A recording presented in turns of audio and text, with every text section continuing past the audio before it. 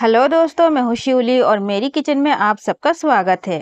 आज घर में बिल्कुल भी सब्ज़ी नहीं थी तो टमाटर, आलू और हरा धनिया, ये तीन चीज़ें मुझे मिली है और इन तीन चीज़ों से मैं बहुत ही बढ़िया आलू, टमाटर की सब्ज़ी बनाकर तैयार करने वाली हूँ। तो आप भी इस रेसिपी को ज़रूर ट्राई कर सकते हैं, बहुत ही यामी लगती है खाने में और बहुत ही टेस्टी है। रोटी, चपाती या चावल किसी के साथ भी सर्व कर सकते हैं। तो सबसे पहले मैंने लिए हैं आलू और आलू काट कर मैंने धोकर लिए हैं, आप देख सकते हैं। चार पीस आलू लिए हैं मैंने और बहुत बड़े बड़े नहीं काटे हैं थोड़े छोटे छोटे ही काटे हैं ताकि जल्दी जल्दी गल जाए।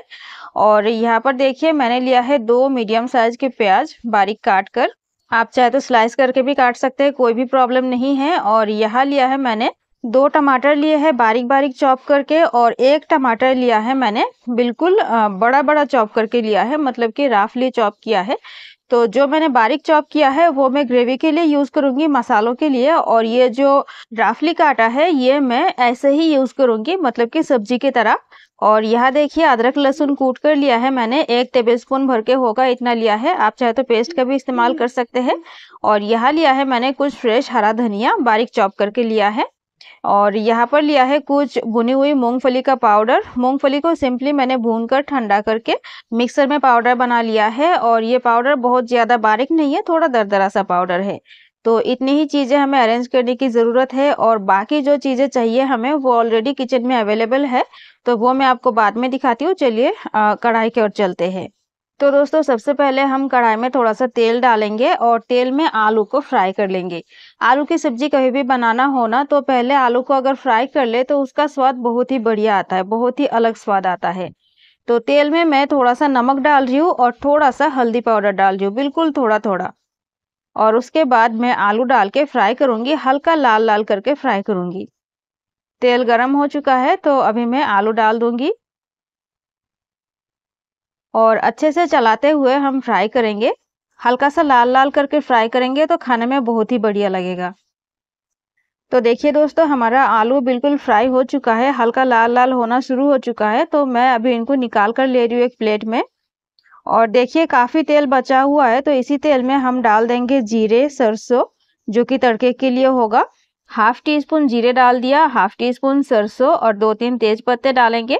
और सारी चीज़ों को अच्छे से चटकने देंगे, अच्छे से फटने देंगे और उसके बाद हम डालेंगे प्याज। और प्याज का कलर हल्का सा ब्राउन होना तक हमें फ्राई करना है और उसके बाद हम डालेंगे अदरक लहसुन का पेस्ट या कूट। मैंने कूट लिया है और आप चाहे तो पेस्ट का इस्तेमाल कर सकते हैं, कोई भी प्रॉब्लम नहीं है। तो अभी अच्छे से चलाते हुए भुनेंगे जब तक कि अदरक लहसुन का जो कच्चा फ्लेवर है वो ख़त्म नहीं हो जाता। कच्चा फ्लेवर ख़त्म हो चुका है। अभी हम डालेंगे टमाटर और टमाटर डालने के बाद हम नमक भी डालेंगे स्वाद अनुसार।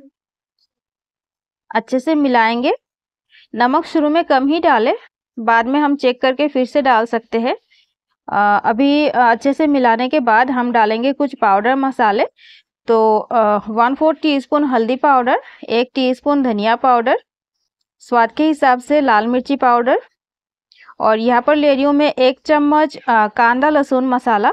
ये एक्चुअली एक महाराष्ट्रियन मसाला है, आपके पास नहीं है तो आराम से स्किप करें, कोई भी प्रॉब्लम नहीं है। और अभी ले रही हूँ मैं आधा टीस्पून कश्मीरी लाल मिर्ची का पाउडर ये ले रही हूँ अच्छा कलर के लिए और कुछ नहीं। थोड़ा सा पानी डालेंगे, पानी डालकर अच्छे से भुनेंगे ढक्कन लगाकर मीडियम टू लो हीट पर करेंगे। और अच्छे से भुनेंगे जब तक कि टमाटर बढ़िया से सॉफ्ट नहीं हो जाता और मसालों में से तेल भी रिलीज़ नहीं हो जाता। तो अभी हम ढक्कन लगा देंगे। बीच बीच में ढक्कन हटाकर चलाते ज़रूर रहना है और चेक करते रहना है। तो अभी लगभग चार पाँच मिनट बाद यह है टेक्सचर। मसालों में से तेल अलग हो चुका है और टमाटर भी बहुत बढ़िया से सॉफ्ट हो चुका है। तो अभी हम डाल देंगे ये फ्राई किए हुए आलू और फिर से एक बार बढ़िया से मिक्स करेंगे। अच्छे से मिलाने के बाद हम अभी पानी डाल देंगे ग्रेवी के लिए। तो प्लेट में काफ़ी तेल है, इसीलिए मैं ऐसे ही प्लेट को धोकर पानी डाल रही हूँ ताकि तेल चला जाए कढ़ाई में। और अपने हिसाब से पानी डालिए, जितना कि आप पतला या जितना गाढ़ा चाहते हैं, उस हिसाब से पानी डाल दीजिए। और अभी हम फिर से ढाक ढाक कर पकाएँगे, लेकिन ढक्कन लगाने से पहले हम भुनी हुई मूंगफली का पाउडर भी डाल देंगे और जो हमने रखा था टमाटर जो राफली काट कर रखा था, वो भी डाल देंगे। तो अभी मैं टमाटर भी डाल दूँगी और उसके बाद हम ढाक देंगे। ढाक ढाक कर पकाएँगे और पहले हीट को हाई कर देंगे। जब अच्छा से उबाल आ जाएगा, उसके बाद हीट को मीडियम करके पकाएँगे। जब तक कि आलू और टमाटर टमाटर तो ऐसे ही गल जाता है। आलू बेसिकली अच्छे से गल नहीं जाता तब तक के लिए। तो ढक्कन लगा देते हैं। हीट हाई है अभी। तो देखिए अच्छा से बढ़िया सा उबाल आ चुका है। तो अभी हम फिर से एक बार मिक्स करेंगे और अभी ढक्कन लगा देंगे फिर से हीट को मीडियम करके।